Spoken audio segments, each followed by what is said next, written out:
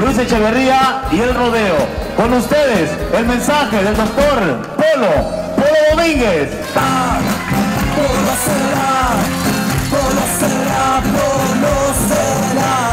Fue en esta ocasión el punto de encuentro donde los habitantes de esta y otras colonias aledañas se dieron cita para vivir la campaña del doctor Polo Domínguez. Es verdaderamente una tristeza caminar por estas colonias que tan amablemente nos recibieron hoy por la mañana y ahorita en la tarde y ver las condiciones en las que viven, ver las calles por las que transitan todos los días, ver los problemas que tienen con el agua.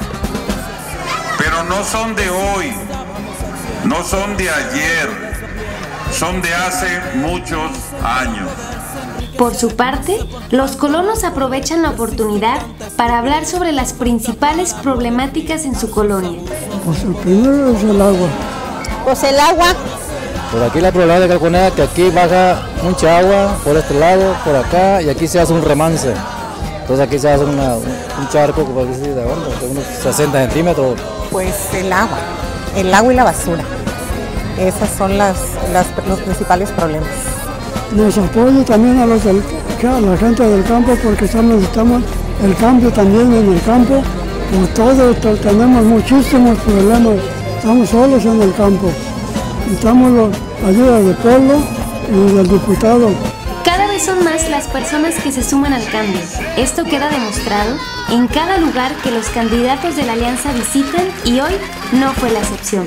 ¿Qué le parecen las propuestas del doctor Polo Domínguez? Hola, amigos, muy, muy bien. Por eso vine aquí.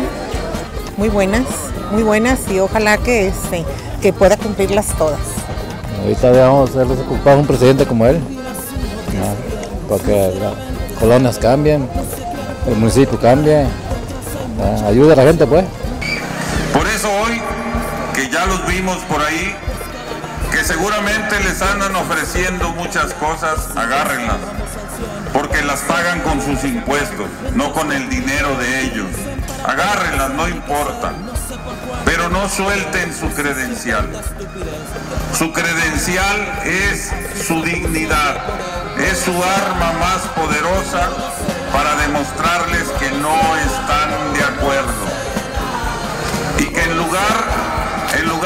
amenazarlos, a intimidarlos, a asustarlos, de que si no votan por ellos les van a quitar los programas, eso es una mentira.